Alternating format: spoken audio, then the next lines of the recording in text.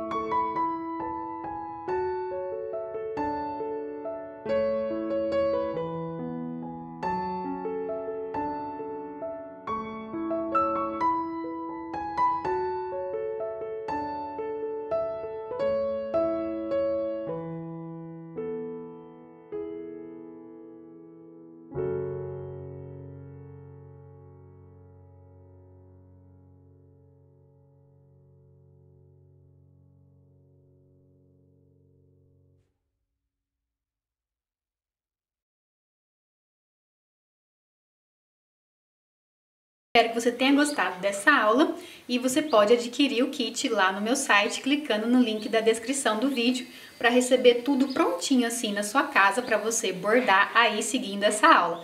Vai a moldura pinos no tamanho que você escolher, vai o tecido riscado por mim com a caneta que sai com calor e todas as linhas que são necessárias para fazer aqui o bordadinho, também as agulhas. Espero que tenha gostado dessa aula e até o próximo vídeo. Tchau!